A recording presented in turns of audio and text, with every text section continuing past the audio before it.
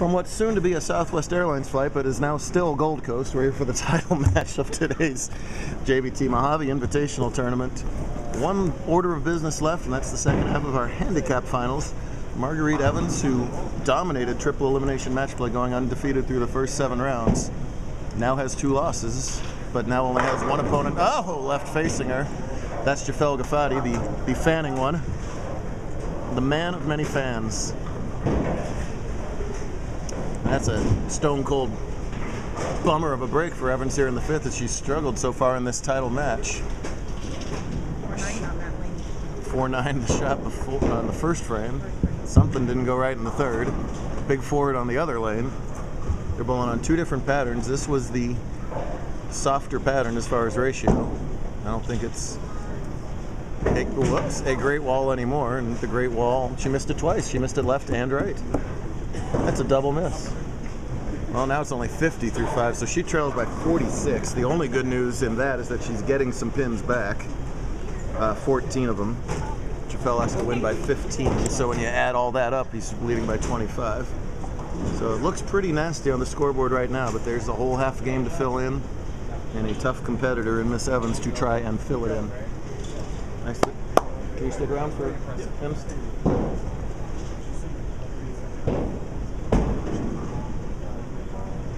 That's left lane is on a pattern called red square, which is dead flat. One to one ratio means the oiliest board is the exact same as the driest board on the fresh. So if you miss left, it's going left. If you miss right, it's going right.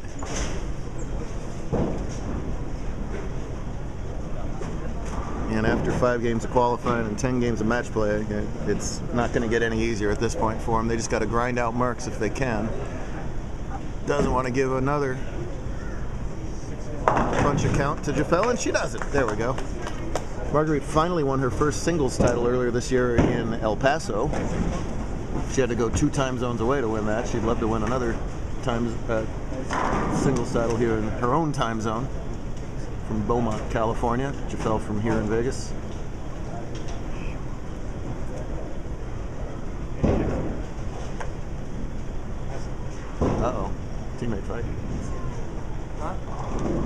You were ready to pop him right there. he thought it was Wes. Thought he likes that one, as he should. Perfect shot in the right-hand lane. That's a big double for him right there. Don't give Margarita any sniff at a comeback here. Two lower seeds, this sometimes happens in triple elimination. Jafel had a bye into the finals because he was in the top five in our season-long points and has been brilliant since then. Lost early to Leanne Reyes and then lost to Espiritu in round five. Other than that, it's all W's.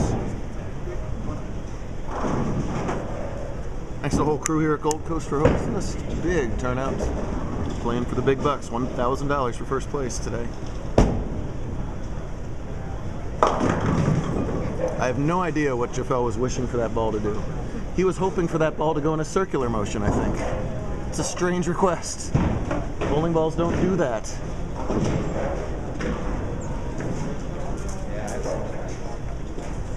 Are you leaving? No, I'll sit. Okay, good.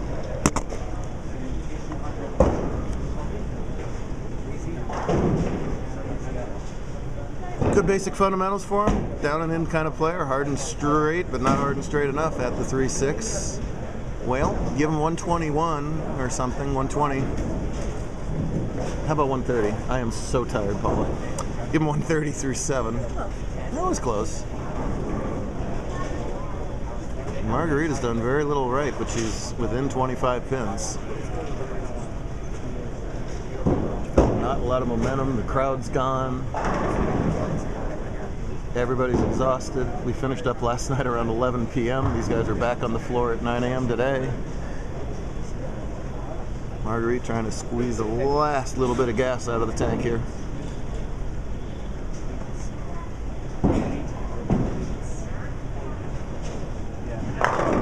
Get that, Brooklyn, dang it.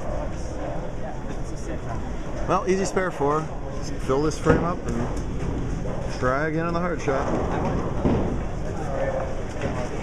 Took a score of plus nine in the handicap division to make the top 11, plus the five bowlers who had those exemptions. Scratch was right around even as well.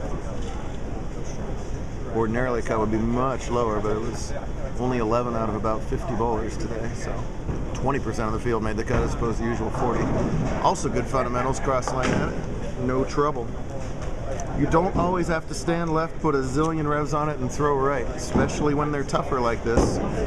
All the power in the world is no good if you're not accurate. These guys don't have a lot of power, but they're extremely accurate. That seemed to pay the uh, bigger dividends today.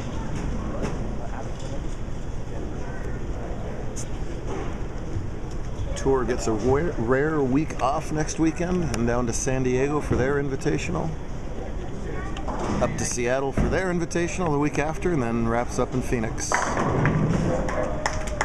And there is the prettiest shot we've had since I hit the camera on. Camera of Doom claimed all victims with front nine or front ten today. Jared Walker had the best string of the day. And then Sergio Torres followed that up with an even bigger game. Walker finishing in fourth. This clown finishing up in third.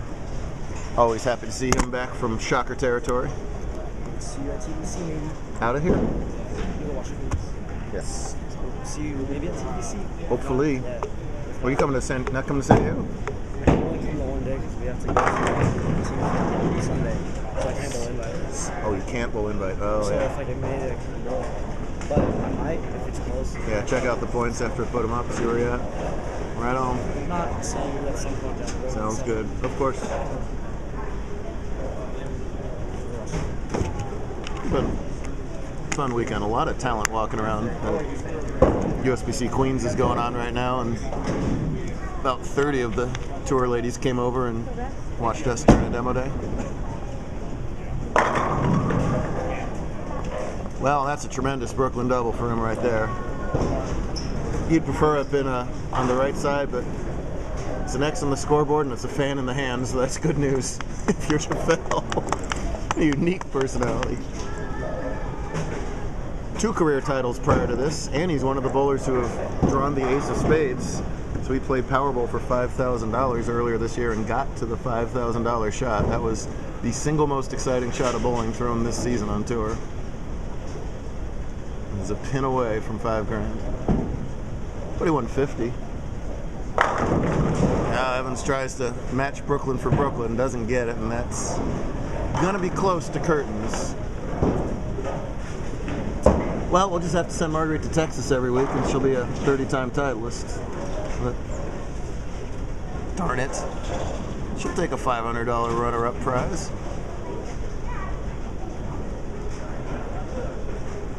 If she hadn't won in Texas and this was another second place in singles, this would have been absolutely miserable. And as it is, uh, not so bad. I don't know. I need to uh, turn my cell phone off, return my seat back to a full upright and locked position. That rental car is not getting any gas in it. I hope I didn't drive it enough so they notice. Only a couple of miles. Come on, pre-check. Come on, pre-check. One time, pre-check. Oh, it's late. I'm charging the phone over there. 7:35 or something. 551. Sunday night flights are never on time out of Vegas. This is gonna be the first ever on-time flight out of Vegas. You better believe. it. Make that spare Marguerite. Make that 4710 on camera. Get your two pins, Marguerite. That's what I have to say. All right, a tough effort there at the end, but she was fantastic all day long. She pouts on camera. Don't pout on camera. You just won 500 bucks. She's leaving. She's out of here. She gets a conciliatory hug. And another conciliatory hug. There you go. And uh, another conciliatory hug. I think, Jared, these, talk to them over there. I think you should all go out there and like fan him and congratulate him. I'm serious. I'm serious. You should totally do this. Just go out there and just start fanning him. I can't. I wouldn't be able to hold myself together. You don't have to. That's the whole point. He won. You don't have to do it. Oh, 10 pin slides up. Doesn't matter. There's your Mojave Handicap Invitational Champion. He says hi to all of his uh, uh, fans, and there we go. There it goes. One more fan on camera. Nice job for Jafel. He's a Red Rocker too, right? Yeah. Yeah, boy. Red Rock Dominus. Thanks for watching. Thanks for being here. We'll see you next two weeks out in San Diego to do it all over.